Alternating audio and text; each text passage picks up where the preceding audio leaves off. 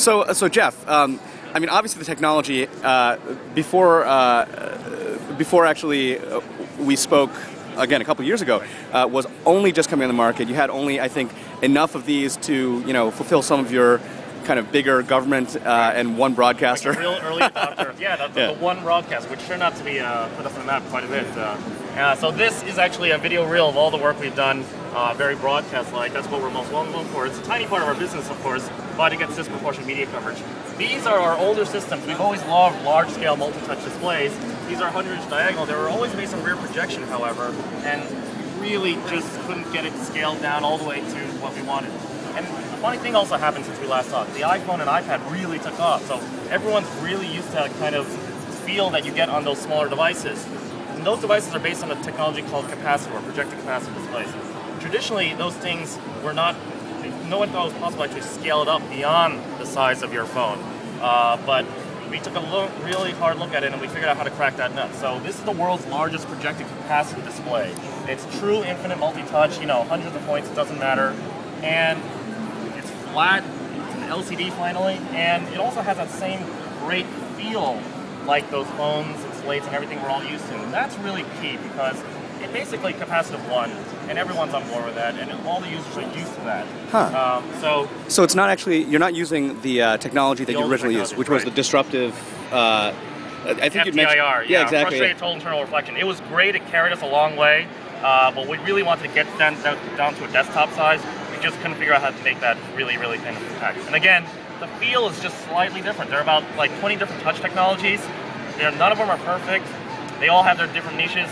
Capacitive, however, really is the one that consumers are really used to. So we've been able to, we want to work really hard to try to get that figured out service an entire product line. So again, 82 inches, the world's largest multi-touch display period, world's largest Pro Cap display period. And what we're here in the Corning booth for is that we've actually now uh, uh, uh, committed to actually now have every one of our displays be Gorilla Glass.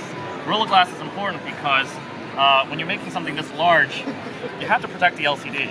Your phone right there actually has a cover glass on it because uh, displays are really, you're not really supposed to touch. You get that kind of uh, uh, mura and these other weird artifacts that happen when you trail your fingers. You'll notice this device doesn't do that, and that's because we put a piece of cover glass on here uh, that's two millimeters thin that's actually optically bonded to the display itself. And that means it becomes a really rugged structure like that. And we had to use the best glass in town. So this is the world's largest piece of Gorilla Glass, 82 inches, bonded to a display uh, this large, and it results in a, the most, the best experience possible. You have zero parallax essentially. You have two millimeters of parallax, which basically means the distance between what you're touching and what the graphics are. And that's really important because other displays, especially to scale, usually space apart the sensor so far apart that when you try to hit a button, you actually miss hit often. And that's a big problem. It's actually one of the dirty secrets on a lot of uh, touchscreens and why they're such a poor experience, why they're better on these smaller devices. So Uh, how has the company grown since uh, since that Oh, origin? yeah, wow. That's uh, wow. I, I would say um, what we've quadrupled in size, more than that. We're about 65 folks right now, and four offices. Uh, really awesome to be able to reinvent our entire product line and move on to the next thing. The other thing we're really starting to preview uh, to folks like you is that we also knew that we were going to create a whole new technology architecture, we didn't just want to do multi-touch. Um, I didn't name this company Multi-Touch Inc. actually.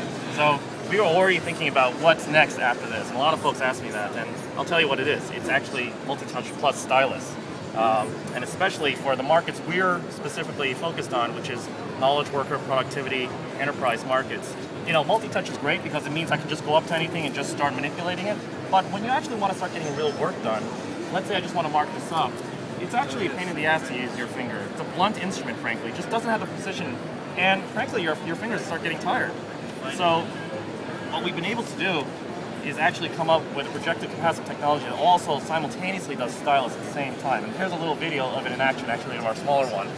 When you actually have, we've seen styluses before, we've seen multi-touch before, but when you actually combine them, it really becomes a one plus one equals five situation. You actually start dividing the work between your hands, where you use anyone who actually does any work, whether it's writing, whether it's sculpting, whether it's uh, painting, you want to use a tool in your dominant hand, your right hand usually, and the left hand is actually an asymmetrical, uh, uh, serves an asymmetrical function and serves to actually orient or hold the model or the, the, the document in place while you actually move. So you get the best of both worlds here. You get to have the immediacy of just just moving the document around while at the same time being able to operate with precision. Um, Do you still have the ability to have uh, multiple collaborative individuals working on the same screen? yeah, yeah, we do. So we've always liked we've always liked large displays, and then we really figured out why we like that. It's because the real next the real next uh, step in computing is going to be breaking away from the personal computer. The idea that computing is not a one-to-one experience. Large displays are great because it's a multi-user experience. There are multiple parties co-located together. Think about what happens when you can connect multiple devices together. That's also the next wave of computing. Whether it's whether it's multiple walls like this together, so I have four offices for even such a small company. You know, we collaborate all the time across distance. It's a pain in the ass. We really want to solve that problem, do it right. Uh, but also, device to device interaction is actually going to be really interesting. Do you have uh, some sort of, um, you know, immersive, interactive conferencing type of thing where you can have a camera attachment and simultaneously kind of work on one another screens virtually? Come as into well my as- lab. I can't, I can't talk about that here, but uh, there, there's some cool stuff we're working on. Uh, I, I'm trying to explain to you what our what we think are the really interesting problems to solve and what we're really excited about uh, working on and what the next steps are in UI. Um, and you know, it's, it's basically great to be able to do that here. Well, that's awesome. Uh, so, eh, as far as um, uh, kind of the, uh, the use case now, There's an error in that equation over there. yeah. good good catch. Um, as far as the use cases, then, uh, do you see this actually broadening out beyond you know kind of enterprise and, and military uses into a consumer space? Education, certainly, right? Well, so that's that's an interesting one. It, I wouldn't classify education as consumer. What I think what, what's interesting about our company right now is we're now actually breaking out of these narrow vertical niche markets, right? So with devices like this, uh, our earlier devices were relatively big, multi. They let you work and develop and play with the technology and develop the applications, which are really key. However, they were not easily deployable. With this new line of products, there's really a much lower barrier of entry for adoption, and the prices are coming down as well. So we really see this now. We really don't see a reason why this shouldn't be in any conference room, any workspace, any any real room. There's a there's a great vision that Corning and our company have in common. This vision of the future where there are just displays everywhere, information displays everywhere. You know, uh, that is something we, we, we really share, and. Um, this device is a big step towards that and, and ubiquity in, in, in horizontal use cases. Just how do we just simply work together on not just an advanced 3D model, but even just a normal document or a web page? You know, really, really basic kinds of collaboration that existing tools are still terrible at that impact every business, whether it's a small startup of 10 people all the way up to the biggest uh, billion dollar companies. Um, Now, you know, you see out here, and this is, I'll let you get onto other stuff. Sorry about that, No but uh, uh, you see out here that uh, all the uh, the manufacturers of displays are talking about essentially smart connected displays. They're, you know, they're you can talk about the display as a platform or even as a hub. Right. Um, and this would seem to actually add a layer uh, to a display that hasn't existed before. I, and you know, I, I think actually. Uh, it was before the iPad, certainly when we talked, and even before I think the iPhone. Really. Yeah. Um, but I have a three-year-old now, right? And the first thing he did when he saw a TV of the size was try to swipe it. He tried to actually. So, do you feel like that's going to happen, like the sort of moving of this into the consumer electronics space? Oh, absolutely. Um, I, I wouldn't. I wouldn't say that our company's focusing on that right now, but we like to work at our at the, at the high end work and work the way down. Where a lot of technology trickles down well. I truly believe these uh, are going to hit the consumer. Uh, Eventually, and, and I'm saying I'm trying to figure out the right word because I don't think it's that far out actually, but I don't want to commit to anything either.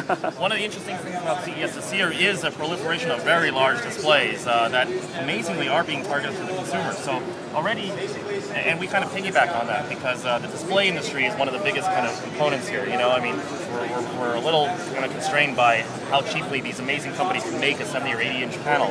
Once they do that, then the next step is okay. Now that I have enough TVs, you know, I think we have 2.7 TVs per household, and you kind of run out of wall space. What else is going to be driving adoption of those kind of displays? And that's why smart TV is interesting. People, people are now asking, yeah, we know it's a display and it's large and it's great, but what can you do with it, right?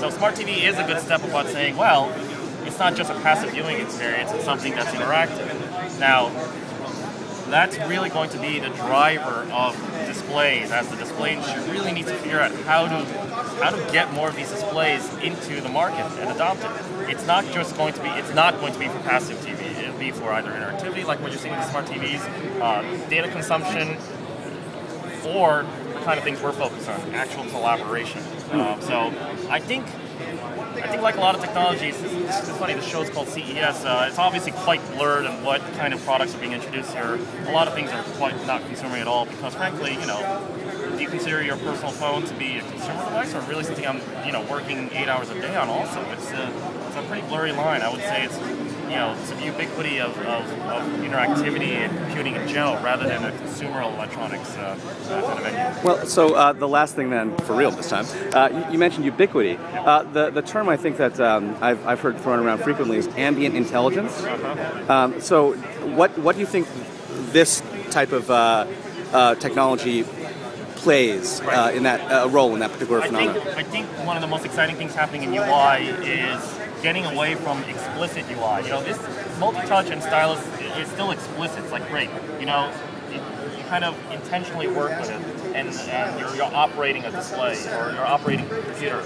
Um, what's going to be really interesting is when devices become a little bit more ambient in, in, in that they sense other things besides just what you're the output that you intend for input. You know, it'd be great if the display knew that there was actually several people all out here watching the display. You know, that I'm gesturing to you, that the icon, you know, that everyone's looking at this window and not that window. You know, those are actually really interesting, subtle things that are not as explicit as okay, multi-touch, but it's going to really change how the information and how we interact with machines because it won't necessarily be so command based. It'll be like, oh, we really need to have interface that start just doing, that just already anticipate, already say, well, why do I have to, have to select this and then copy and paste it into my email?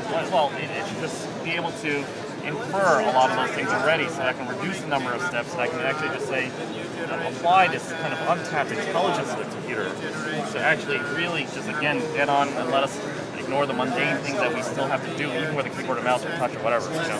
So that's what I believe this whole ambience, you know, ubiquitous computing really should be about. Not how, you know, not that I have a, a microcontroller in seven devices that I'm wearing. That's not the point. The point is, how do we make machines understand even more about the environment that I'm in? And those are the kind of things that we can really have not been mined at all, and there's lots of information there. That's awesome.